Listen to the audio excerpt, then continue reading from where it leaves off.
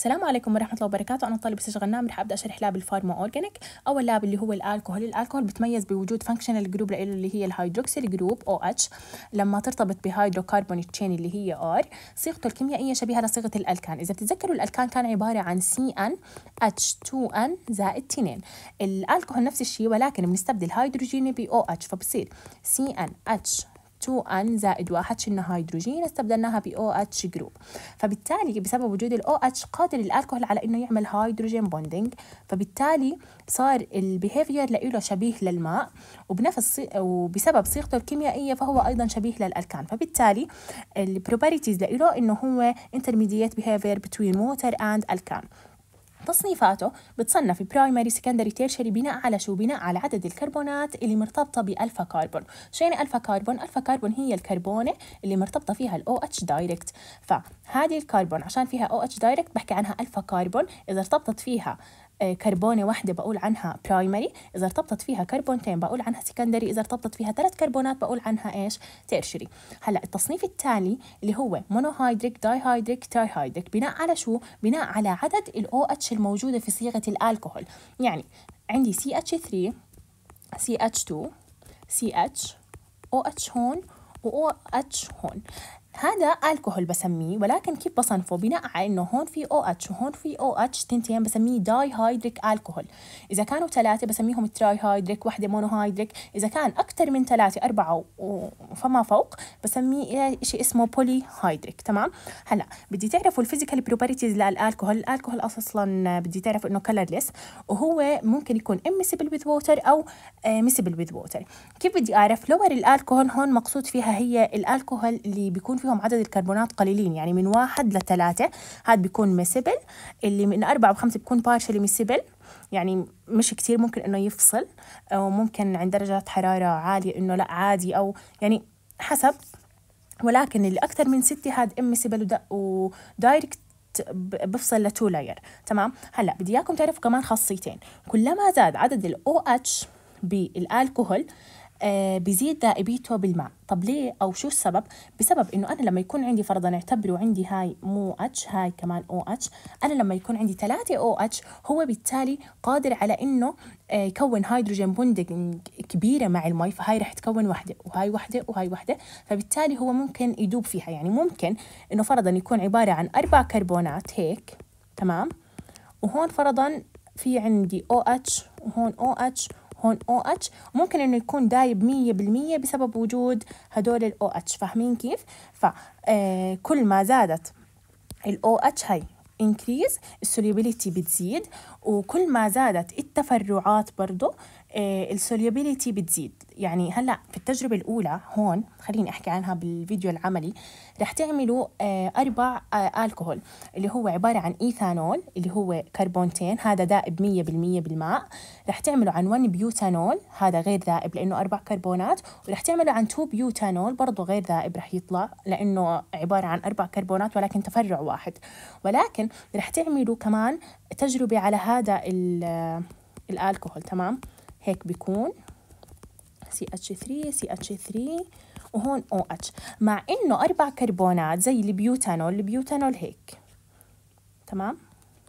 OH هون هذا ال butanol غير ذائب مع إنه أربع كربونات ولكن هذا هي إذا بتعدوهم أربع كربونات ولكن رح يطلع معكم ذائب. شو السبب؟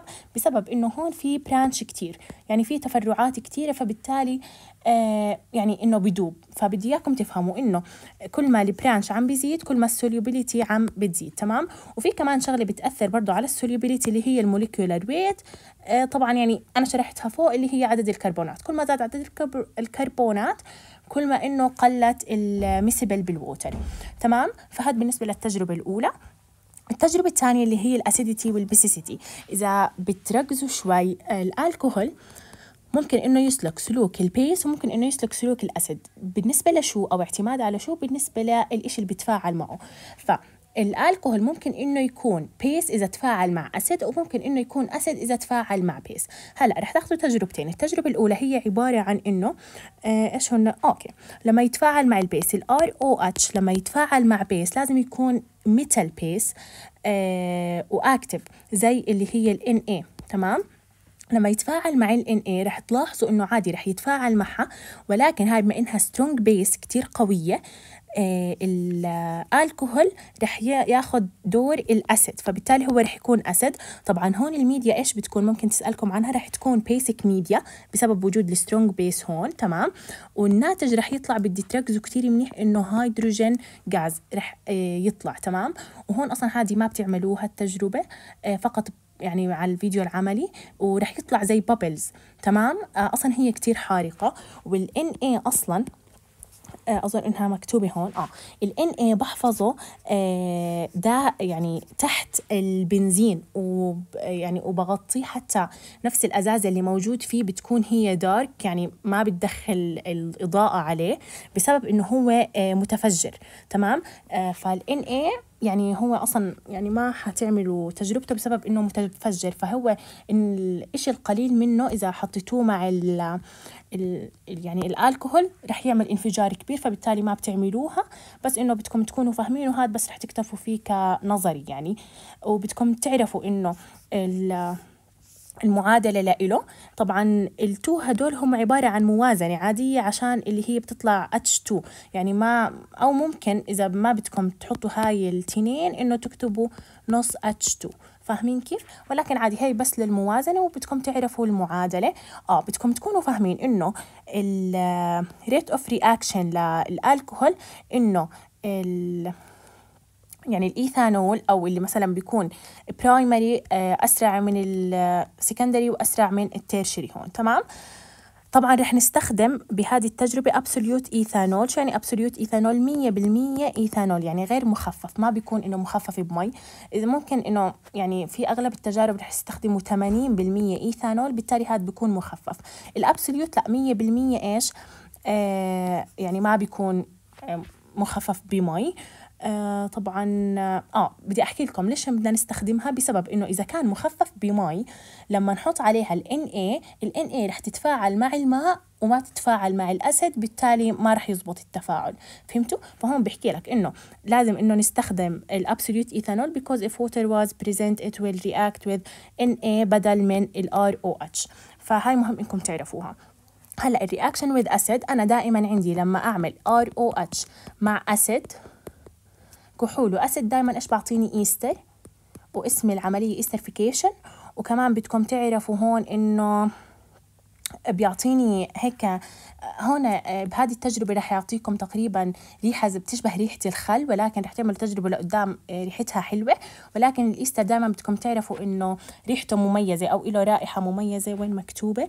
آه هيها هون مكتوبة إنه له رائحة مميزة. دائما الإيستر بدكم تعرفوا بدكم تعرفوا اسم التفاعل اللي بيعملوا اللي هي esterification. وبس إنه ال alcohol with carboxylic acid ال alcohol بسلك سلوك القاعدة والميديا بتكون acidic media تمام؟ مش كتير مهم إنكم تعرفوا هاي التجربة. ال iodoform test ال iodoform test هو عبارة عن إيش؟ عبارة عن آه test بعمله لحتى أكشف عن إشي اسمه methyl ketone. شو يعني methyl ketone؟ methyl ketone هو عبارة عن methyl group اللي هي CH3 مرتبطة ب C double bond O هاي بسميها methyl ketone. هاي ال methyl ketone وين موجودة؟ موجودة بال aldehyde وبال ketone. ال aldehyde هيك صيغته والكيتون هيك صيغته. تمام؟ إنه R R. أنا بحط مجازا إنه CH3 تمام؟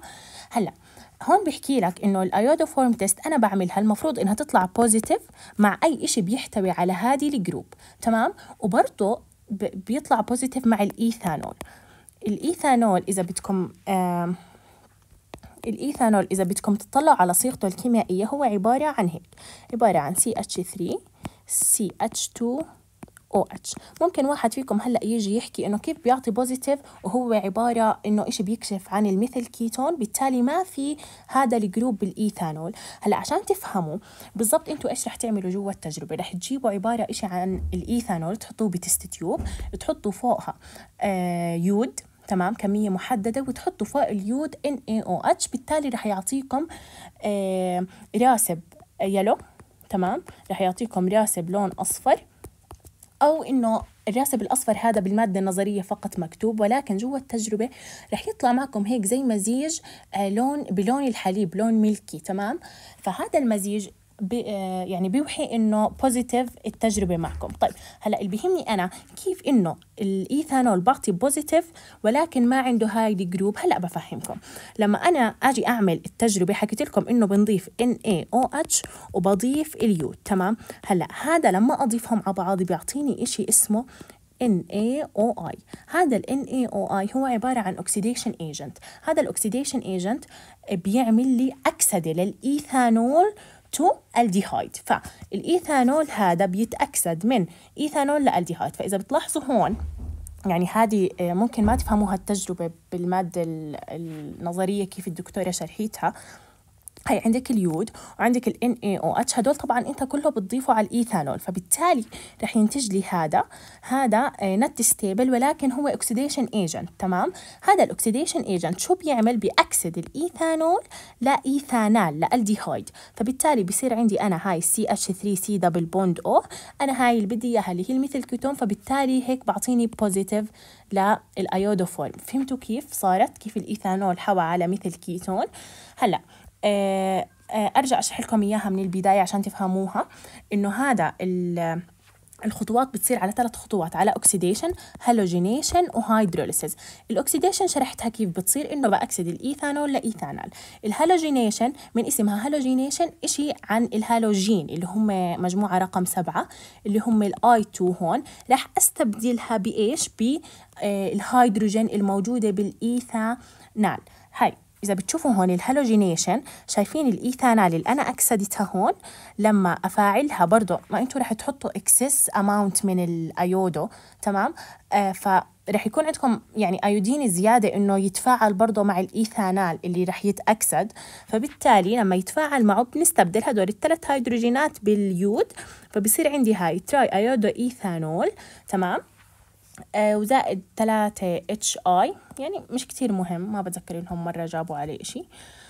هلأ ال hydrolysis آخر إشي إنه بسبب إضافة ال NaOH اللي أنا ضفتها لأني حكيت لكم رح نضيف آه، iodine و NaOH بسبب ال NaOH اللي ضفتها ال excess برضو amount منها رح يتفاعل مع ال tri iodo ethanol وبالتالي شو رح يعمل؟ رح إنه يعطيني آه sodium formate تمام؟ اللي هو هذا ملح ال carboxylic acid تمام؟ آه وهذا راح يستبدل يعني ال هاي ال I راح آه تندمج مع ال CH يعني المهم بالنهاية بيعطيني iodoform هذا لونه yellow yellow طبعا هون موجود آه كمادة نظرية بالمادة العملية رح تطلع معكم milky.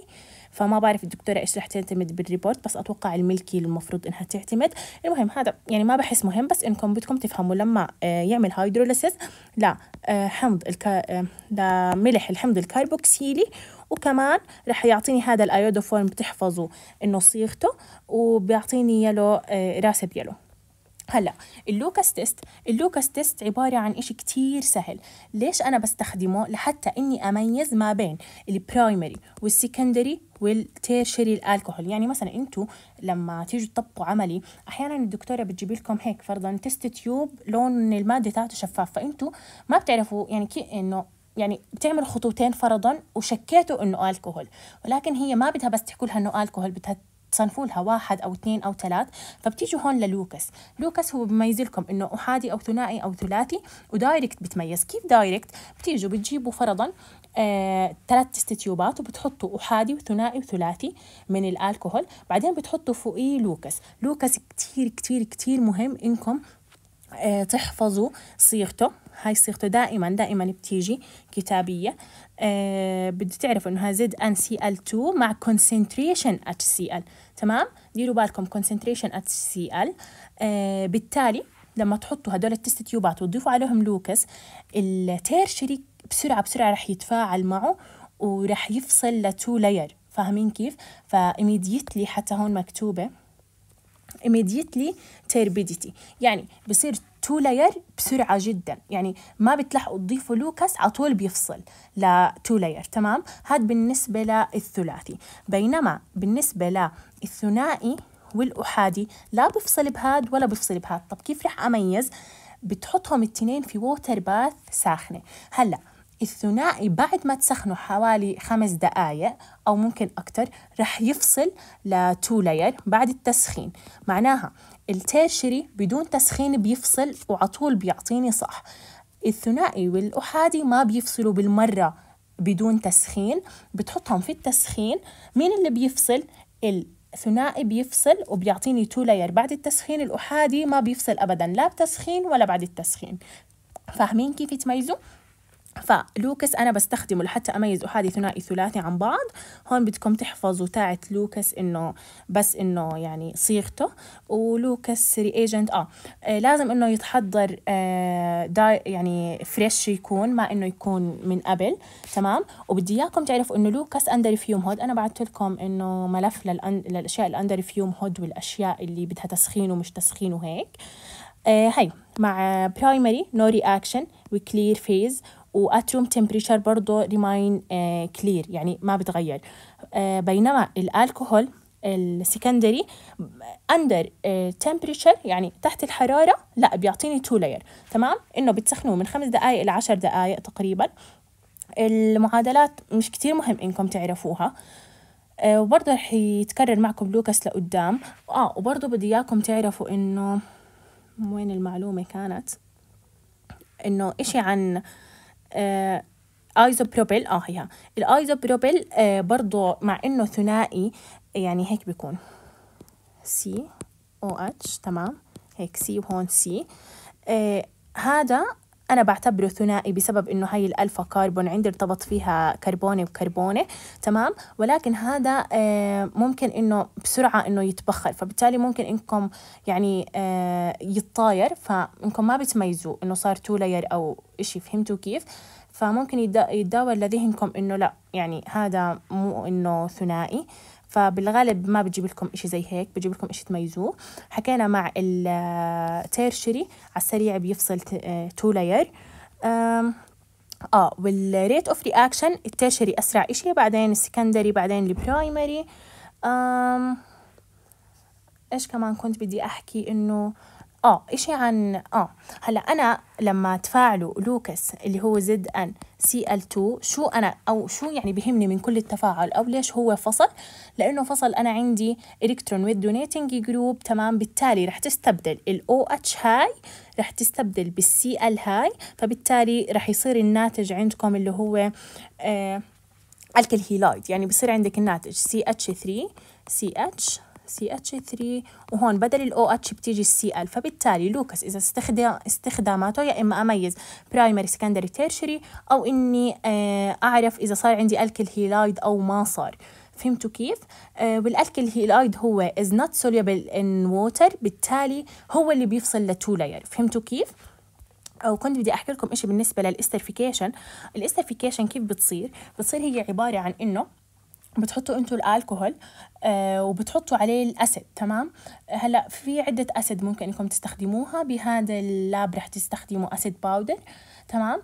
باللابات جاي رح تستخدموا carboxylic acid قوية فبالتالي رح تكون سائلة. المهم هلا لما تحطوها بتسخنوه تمام؟ لما تسخنوه رح يطلع معكم تقريبا هيك إشي أبيض. آه، أو يعني زي إنه turbidity أبيض تمام؟ فبالتالي هذا ال turbidity لما يعني الدكتورة شو رح تقول لكم بالضبط هذه التجربة كيف اللي خلص فاهم كيف أو حضرها عملي بيقدر إنه يطلع من الفيديو. التجربة عبارة عن إنكم تحطوا ال carboxylic acid وال alcohol في test tube بعدين تحطوه في water bath وتسخنوا هذا ال water bath ماشي؟ وتكونوا ب beaker برا يعني برا هذا كل شيء اللي عملتوه ب beaker هيك حاطين تقريبا عشرين مل من الماء تمام؟ عشان شايفين لما الإشي اللي سخنتوه بصير turbidity أبيض.